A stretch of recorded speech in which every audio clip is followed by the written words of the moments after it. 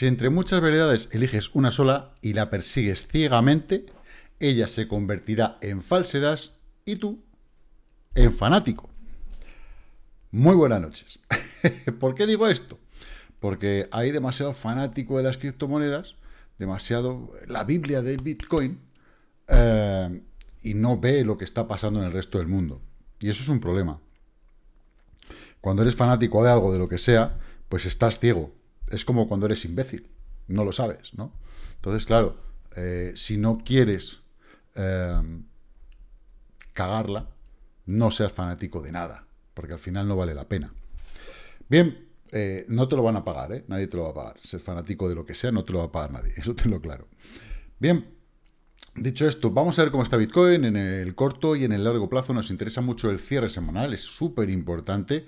Em, como viene siendo a lo largo de estas semanas, en la zona de soporte en la que estamos, y de momento buena pinta no tiene. Vamos a ver qué pasa con el cierre de los futuros del CME y vamos a ver qué pasa de aquí al domingo, día clave, día muy importante, porque, bueno, hay un par de cosillas que pueden no estar muy allá.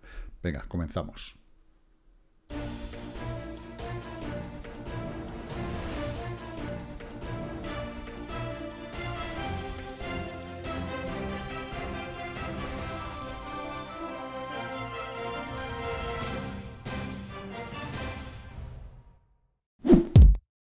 Suscríbete y dale a la campanita. Únete a la mejor comunidad de criptomonedas.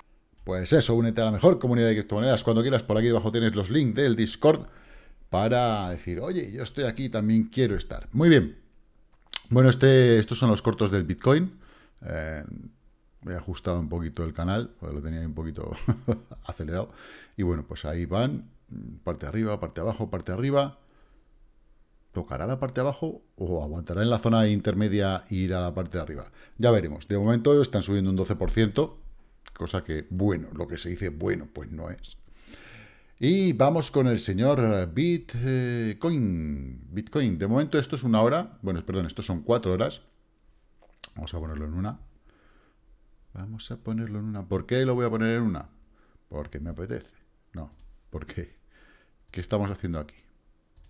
¿Vale? Eh, bueno, ya lo estoy imaginando con estos máximos que tengo aquí, que os voy a, quitarlo y prefiero poner una línea nueva, ¿vale? Estamos generando una cuña. Em, vamos a ver si de verdad esta cuña eh, es una cuña que rompe al alza. Si va a romper al alza va a ser a lo largo del fin de semana. Y esto no quiere decir eh, que vayamos a irnos arriba, ¿vale? Simplemente es una posibilidad de intentar volver a romper esta zona que tenemos en 30,750. Más que está siendo de libro. Vengo justo en la zona, me hace resistencia, hago banderita, la atravieso, hago el bar Simpson, me voy para abajo y vuelvo otra vez a retestear la resistencia. No puedo y me vuelvo a ir abajo. Ostras, está siendo... Es una lucha, hay una lucha ahí encarnizada importante. Eh, Además, veis que veis, veis cómo a lo largo de, desde que empieza hasta que termina, fijaros los picos de volumen, pam, pam, pam, pam. O sea, que hay, hay lucha, hay pelea. Y esto es un solo exchange. Os recuerdo que esto estamos Bitcoin contra el Tether en Binance. ¿vale? Pero normalmente, como es el que más, que más volumen suele tener, eh, nos traduce bastante bien qué es lo que está pasando en el mercado.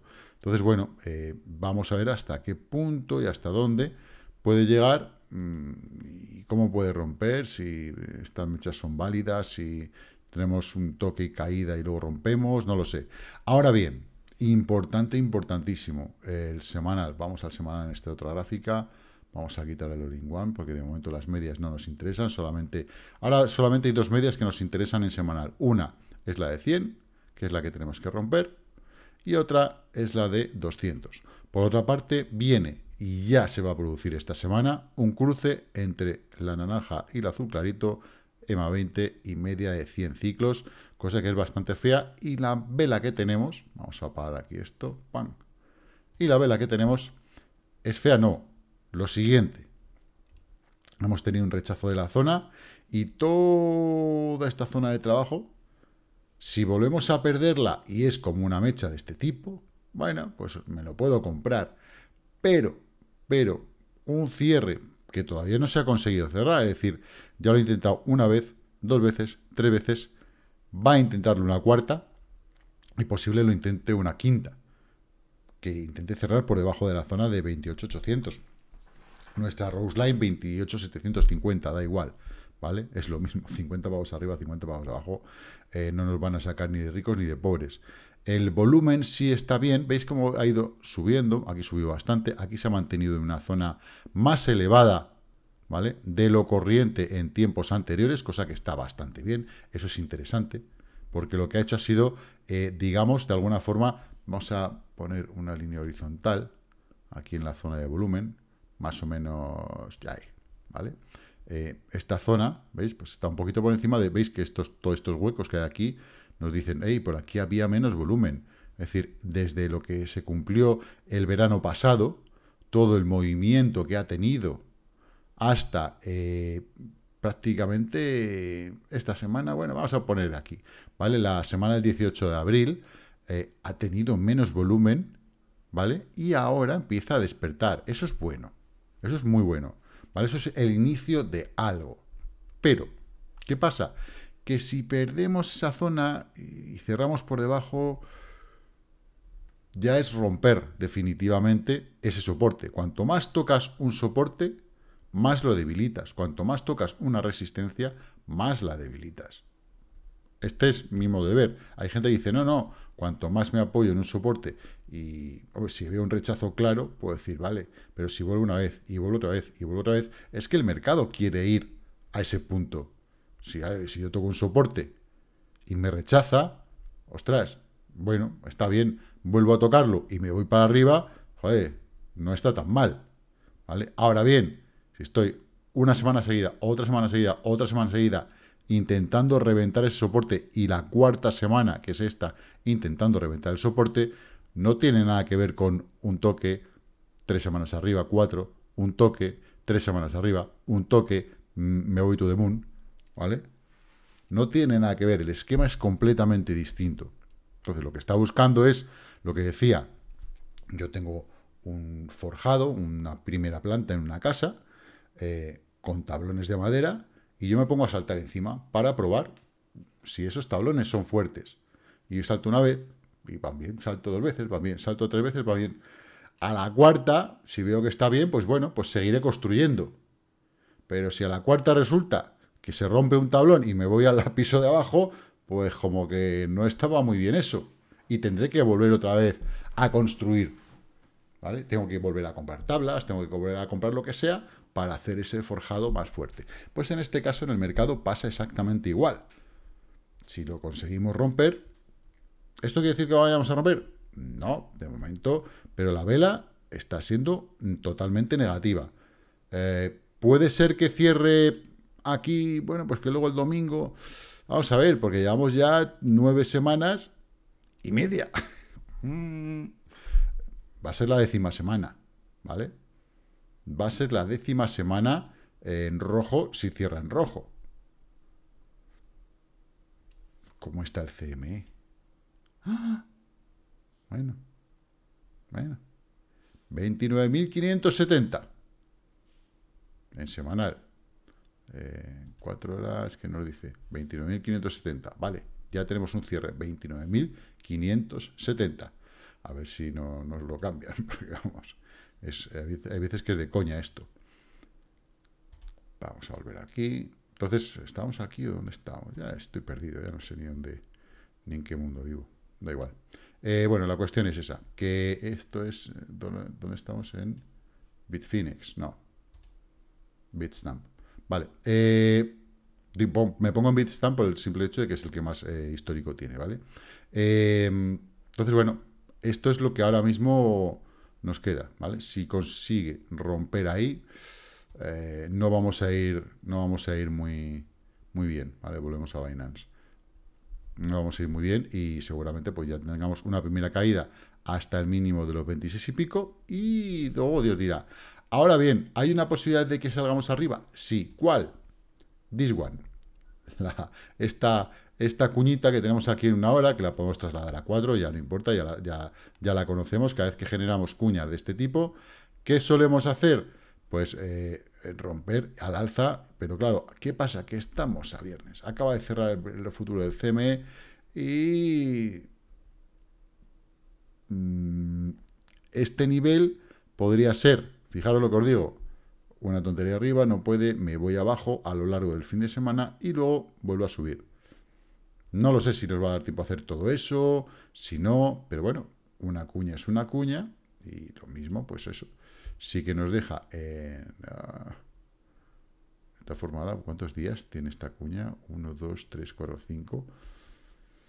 Bueno, pues 6, 7, no estaría mal. Y en una hora, pues sí puede hacer un recorrido interesante. Si nos vamos más, en vez de, fijaros que si nos vamos más, obviamos las mechas y nos vamos a los cuerpecitos, aquí, bueno, pues como que está un poquito más... Pero bueno, que yo de momento las, las mechas, como son precios que se han producido, son toques que se han producido, de momento eh, me, voy a, me voy a fiar de, ellas ahí un poquitito. No demasiado tampoco, pero, pero sí. Sí, pero Bien, eh, dicho esto, con Bitcoin, Ethereum, ¿qué está pasando con Ethereum? Pues está en una zona exactamente muy similar. Vamos a quitar el FIBO que tengo por aquí. Ya ha perdido 0,78, con lo cual, fijaros cómo lo pierde, lo retestea y está intentando ahí a ver si, a ver si consigue hacer algo.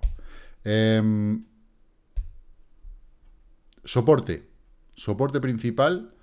Y, oye, vamos a ver eh, si es capaz, vamos a ponernos en diario, si es capaz de aguantarlo, ¿vale? Tiene varios toques, la pérdida de este soporte nos llevaría mm, a una zona inferior, 1200 y pico. Ya veremos, eh, antes de empezar a, cuando vayamos ahora a, crear la cartera, vamos a ir viendo puntos súper importantes para completos, ¿vale? Eh, para Ethereum, que, bueno, pues creo que hay que tenerlos en cuenta y que posiblemente nos puedan dar una visión bastante interesante de hasta qué punto en un momento dado podríamos comprar Ethereum a bastante buen precio, ¿vale?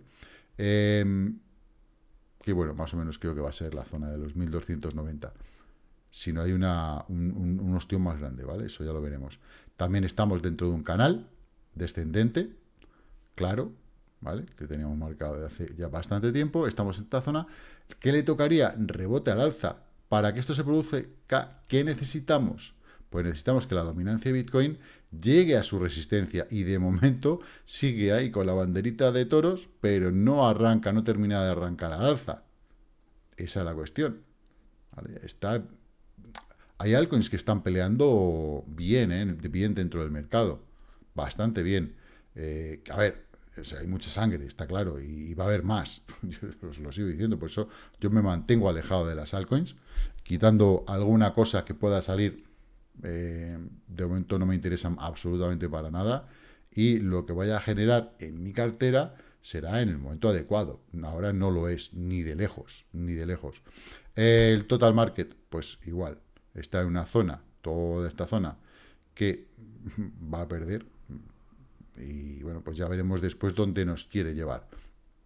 ¿Qué pasa con las altcoins? Bueno, pues lo que hemos dicho, unas sufriendo mucho y otras menos. Pues ICP, pues que ICP no va a levantar cabeza ni aunque la maten. O sea, yo no, la, yo no lo veo, ¿vale? Es un proyecto que, en su día yo tuve unas, unas eh, unos cuantos tokens de cuando hicieron eh, eh, airdrops y demás y, y me llevé una sorpresa cuando me vi que valían una pasta.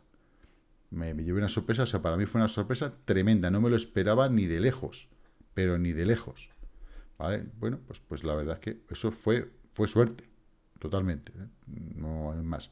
Pero fijaros cómo nuestro RSI, estamos en diario, ¿vale? Llega un toque, vuelve a caer, toque, vuelve a caer, toque, vuelve a caer, toque, vuelve a caer, comportamiento de cripto invierno total y no hace más que caer, caer, caer, caer, caer, caer lleva desde este que hizo aquí en septiembre del 21 con un ostión tremendo. A, pesar de haber hecho aquí un doble suelo, ¿vale? No pudo con ello y, bueno, pues el, castañazo es tremendo. Ya, pasa que claro, desde mayo, desde que salió, em, hay muchas criptos que están en cripto invierno desde mayo del 21, lo veréis, ¿vale? Hicieron un máximo y no han vuelto a, a él. Otras eh, ya septiembre, entre septiembre y noviembre, hicieron otro.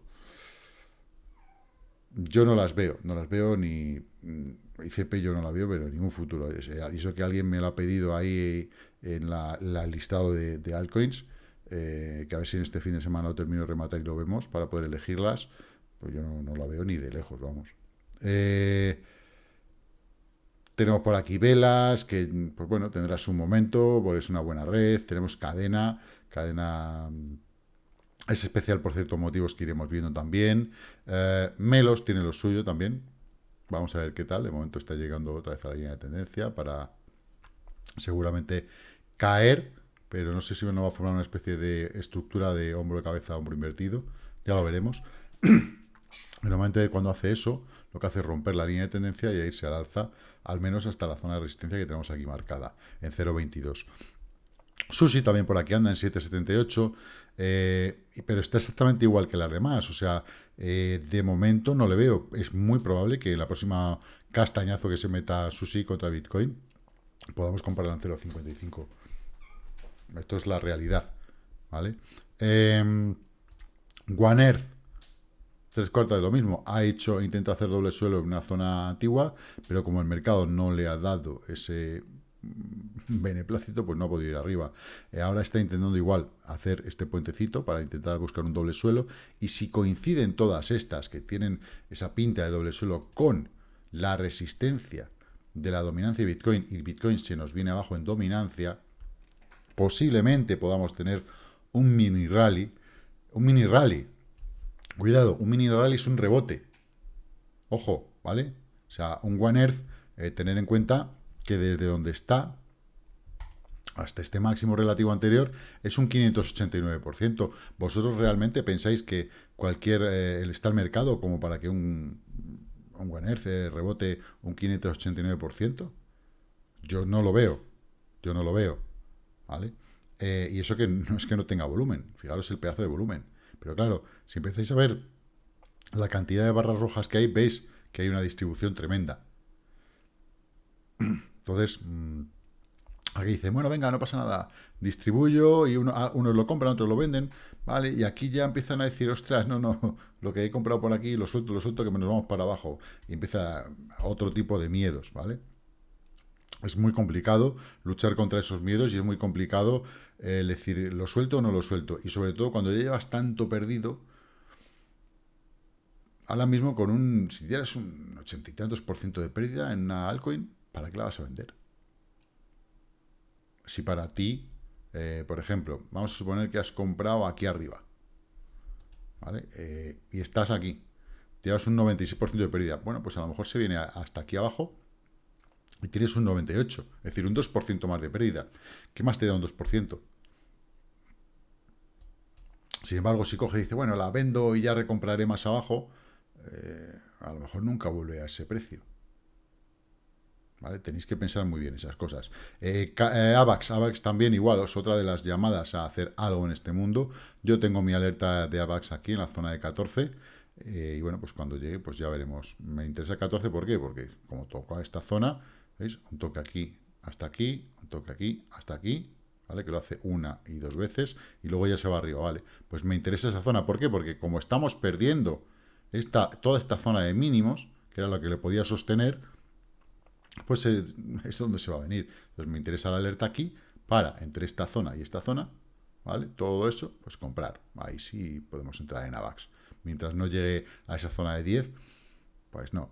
Eh, y, y- y por qué me interesa AVAX? Porque AVAX, Avalanche, eh, va a ser algo, eh, creo, yo creo, ¿vale? Que desde la zona de 10, si es la claudicación del mercado y es todo correcto, puede ser que baje más, pero para mí es una buena compra.